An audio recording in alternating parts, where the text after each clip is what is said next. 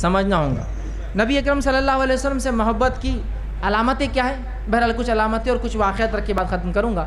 نبی اکرم صلی اللہ علیہ وسلم سے جو محبت کا دعویٰ کرتا ہے، تو اس کی علامت میں سے پہلی علامت یہ ہے اور وہ یہ ہے کہ وہ سنت نبی کی آہیا کے لیے مطلب رسول اکرم صلی اللہ علیہ وسلم کی سنت پہ عمل پیرا ہونے کے لیے اور آپ جس دعوت کو لے کر آئے تھے، اس دعوت کو آگے بڑھانے میں وہ مکمل جد و جہد کرتا ہے۔ یہ پہلی علامت ہے محبت کی۔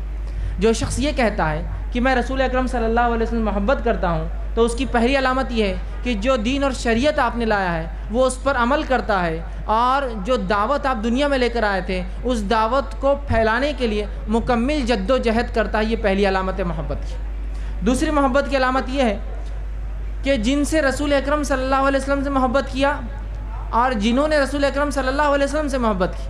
مطلب محبین اور محبان مطلب جن سے رسول اکرم صلی اللہ علیہ وسلم محبت کرتے تھے اور جو رسول اکرم صلی اللہ علیہ وسلم سے محبت کرتے تھے، ان سے بھی ہم محبت کریں۔ یہ محبت کا تقاضا اور علامت ہے، یاد رکھیے۔ جیسے کہ رسول اکرم صلی اللہ علیہ وسلم اپنے اہل بیت سے محبت کرتے تھے، ہم بھی اہل بیت سے محبت کریں گے۔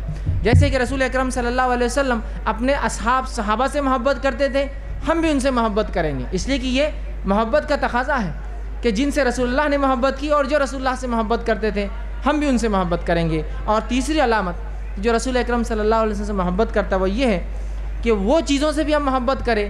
جن سے، جن کو رسول اللہ صلی اللہ علیہ وسلم نے پسند کیا، جن سے آپ نے محبت کی۔ جیسے کہ آپ چاہتے تھے کہ صحابہ با اخلاق ہو جائے جیسے کہ آپ چاہتے تھے لوگ اچھے خسائل اپنے اندر پیدا کریں، اچھی فطرت اپنی کریں۔ جیسے کہ آپ چاہتے تھے لوگ اچھائی میں آگے بڑھے جیسے کہ آپ چاہتے تھے لوگ برائی سے رکے تو جن چیزوں سے رسول اکرم صلی اللہ علیہ وسلم نے محبت کی ان سے بھی ہم محبت کرنے والے بن جائے یاد رکھیے۔ اور جو آپ چاہتے تھے، وہ کام ہم کریں۔ تو یہ تین علامتیں یاد رکھیے۔ پہلی چیز، ہم رسول اکرم صلی اللہ علیہ وسلم کی سنت پر عمل پیرا ہو اور آپ کی لاہوی دعوت کے لیے جد و جہد کرے کہ لوگوں میں پھیلائے۔ ہم ان لوگوں سے محبت کریں جو رسول اللہ جن سے محبت کرتے ہیں اور ان لوگوں سے محبت کریں جو رسول اکرم صلی اللہ علیہ وسلم سے محبت کرتے تھے۔ اور تیسرا یہ کہ ہم جو ہے اس معاملے میں یاد رکھیں کہ جو کام ہمیں کرنا وہ یہ کہ آپ صلی اللہ علیہ جن چیزوں کو پسند کیا ان چیزوں پہ عمل پیرا ہونے کی بہرحال ہم بھی کوشش کریں۔ اب آئیے